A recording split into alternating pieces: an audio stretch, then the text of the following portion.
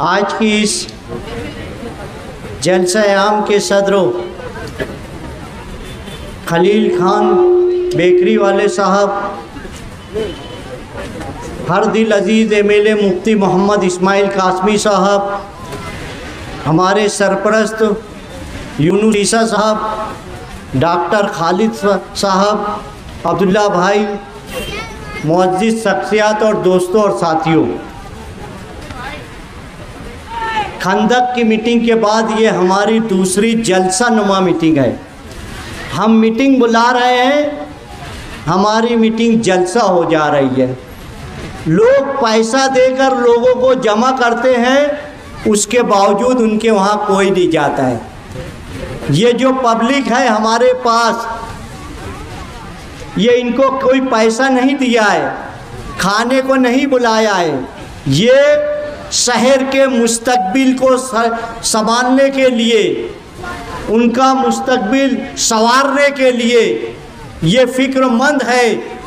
और इस शहर में एक झूठे, जिनकी रोज़ी रोटी लूट मार है, नशे का कारोबार करने वाले लोग हैं, उनको रोकने के लिए ये लोग आए हैं। मैं ये मासूम बच्चों की तरफ़ देख रहा था और सोच रहा था कि जब बच्चा पैदा होता है, मुसलमान पैदा होता है, ईमान पे रहता है, उसको तकलीफ़ किससे होती है? वो बिगड़ता कब है? जब माशरे में नशे का कारोबार करने वाले, जुआ चलाने वाले, दारू बेचने वाले उस बच्चे को ले जाकर बिगाड़ते हैं, तब वो बिगाड़ता है।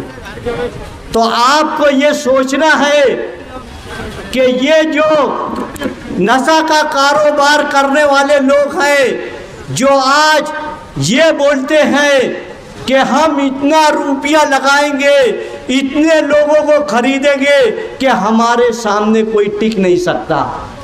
वो भूल गए कि 2009 में एक रुपया भी दिए और रोड भी दिए। ऐसी कौम है इस शहर में। ये ध्यान रखो आप, उस 2009 का आपको 2024 में दोहराना होगा। अगर कोई गैंगस्टर रहता है, वो कोई आदमी अकाउंटेंट रहता है, लगता है तो कैसा रखता है? वो बुरा काम करता है। मगर वो ईमानदार हिसाब किताब देखने वाला रखता है। वो आप ध्यान रखिए कि ये तुम्हारी कौम का मुस्तकबिल, जो पूरी दुनिया में जाना जाता है कि ये वो शहर है जो हर तरीके से सीना तान के खड़ा रहता है। पूरे देश की एक शनाख्त तो है कि यहाँ मुसलमानों का शहर है रात को 12 बजे, एक बजे, दो बजे हमारी बहन बेटियाँ इस हिस्से से उस हिस्से तक जा सकती है। आप यूपी, बिहार और बंगाल जाके पूछो कि वहाँ 11 बजे के बाद कोई मुसलमान बाहर निकल सकता है क्या? ये उन लोगों से ताल्लुक़ रख रहे हैं जैसा इस्माइल हानिया को इसराइल ने ईरान के रूम के अंदर बम बला के लगाकर उसको शहीद कर दिया। वैसे ही ये लोग हैं बीजेपी से रबता करके आपकी कौम को खोखला करने के लिए ये उनसे रबते में रहते हैं। हर वो काम कर कर जो करते हैं, जो मुसलमानों को नुकसान दे हो ये मिले हुए हैं माजिद मालिक भाई को गोली लगी। ये बहुत हमने ताकत लगाई। मुफ्ती साहब ने हाल में बोला, डीजी से मुलाकात किए, चीफ मिनिस्टर से मुलाकात किए, मगर पुलिस क्या करी? वो सब आपके सामने है। इनका हॉटलाइन से ताल्लुक़ है, फरनवीस से ताल्लुक़ है। ये हमको मान लेना चाहिए। जैसा इसराइल का मोदी से ताल्लुक़ है, वैसा ही इनका ताल्लुक़ है। आपको इस शहर को बचाने के लिए आज हम लाख वोट, डेढ़ लाख वोट, दो लाख वोट मुफ्ती मोहम्मद इस्माइल कासमी को दे देंगे। हम मुकाबला करते रहेंगे, मगर कल रोज़े कयामत आप घर में बैठे रहे तो अल्लाह पूछेगा कि मेरे कौम के उम्मत मोहम्मदिया के बच्चों के ऊपर नशे का कारोबार करने वाले, नशा कर करवा कर उनको इस्तेमाल करके आपके खिलाफ खड़े किए, आप क्या कर रहे थे? अंसार जमात खान का जो जलसा हुआ, उसके बाहर मैं अभी मौलाना अफजाल के वहाँ दावत थी, वहाँ गया। मुझे पाँच बुज़ुर्ग लोग मिले और उन्होंने कहा कि आपको कुछ मालूम है?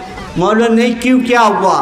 बोले, जलसे के बाद बॉक्स से बॉक्स से कुत्ता गोली बांटी गई है। तो ये नौजवान नस्लों को कहाँ ले जा रहे हैं? ये आग लगेगी तो कल तुम्हारे घर तक आएगी। ये आग हमारी बहन बेटियों के ऊपर आएगी। उस वक्त तो हम क्या करेंगे? ये सोचना है। आप देखिए कि मेरे पास एक रिपोर्ट है कि आठ लाख अप्लीकेशन दिल्ली में है, जो हमारी बहनें एप्लीकेशन देकर रखी है कि हम मुर्तद होना चाहते हैं। हिंदुओं के साथ जाना चाहते हैं। आपका शहर उसको भी बचाने के लिए आगे आएगा।